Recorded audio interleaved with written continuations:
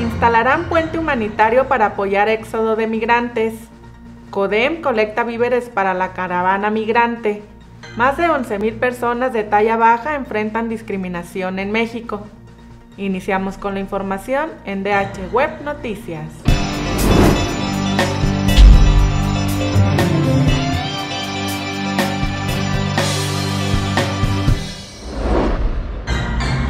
Hola, soy Tania Serrano. Les presento lo más relevante en materia de derecho humanista.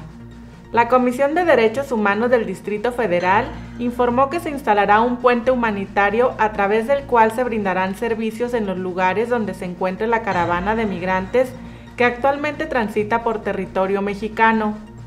El apoyo se brindará por esta comisión el Gobierno de la Ciudad de México, la UNICEF, el Alto Comisionado de las Naciones Unidas para los Refugiados, la Oficina del Alto Comisionado de Naciones Unidas para los Derechos Humanos, la Comisión Nacional de los Derechos Humanos y organizaciones de la sociedad civil, nacionales e internacionales.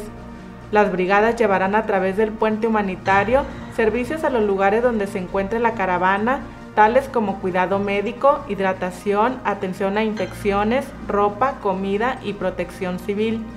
En el caso de niñas, niños y adolescentes migrantes, el propósito será asegurar que quienes vienen acompañados no se separen de sus familias y respecto a los no acompañados, asegurar su protección por parte del Estado mexicano durante el trayecto.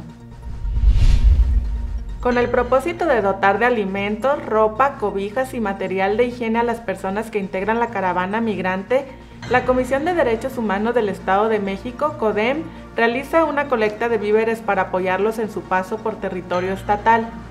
Para apoyar a las y los hermanos migrantes, la CODEM solicita leche en polvo, alimentos para bebé y enlatados, precocidos y no perecederos, agua embotellada, azúcar, café, sal, atún y aceite y artículos desechables como platos, cubiertos y servilletas. Para enfrentar las inclemencias del tiempo en su largo recorrido, se piden cobijas, ropa en buenas condiciones, zapatos y mochilas, artículos de higiene personal como papel higiénico, toallas femeninas, pañales para niños y adultos, pasta y cepillo de dientes y jabón, además de material de curación como gasas y vendas. El centro de acopio se localiza en el edificio central de la comisión, ubicado en Avenida Doctor Nicolás San Juan número 113, Colonia Ex Rancho Cuauhtémoc, en la capital mexiquense. La Comisión Estatal de Derechos Humanos de Jalisco determinó que durante el proceso de designación de una magistratura para la Sala Superior del Tribunal de Justicia Administrativa, el Poder Legislativo violó los derechos humanos a la igualdad y no discriminación, al trato digno y a la legalidad de una participante, por lo que emitió la Recomendación 42-2018.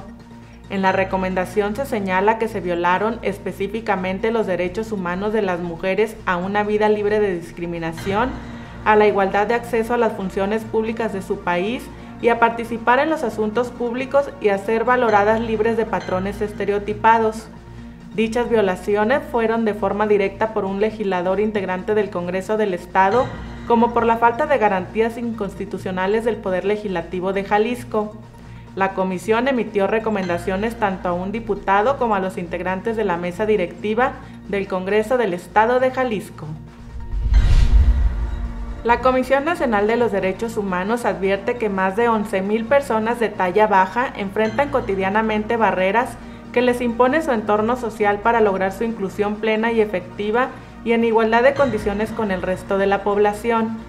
En ocasión del Día Mundial y Día Nacional de las Personas de Talla Baja, este organismo expresa que no solo es en el ámbito físico lo que marca constantemente la discapacidad de las personas de talla baja, sino el ámbito social relacionado con la discriminación y la falta de información que hay sobre este tema.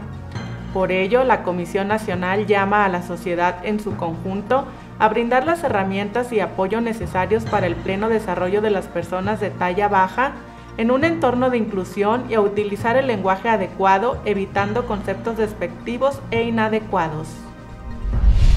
Esta ha sido la información más importante en materia de derecho humanista. Lo invito a que visite nuestra página web DH Noticias, al igual que nuestras redes sociales Facebook y Twitter. Muchas gracias, hasta pronto.